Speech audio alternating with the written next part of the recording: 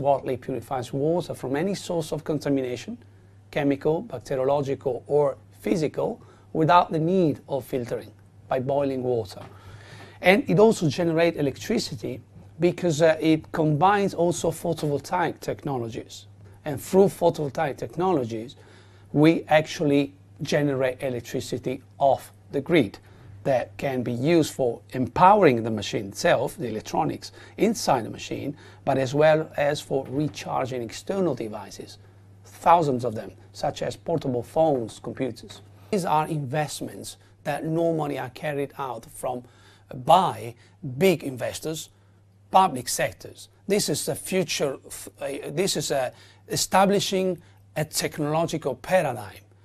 The users will pay as they go that means they pay for the water they collect and the electricity they use.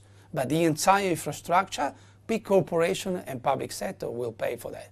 And it, the point is that this machine is a vending machine. It pays back its own investment in six months, 18 months.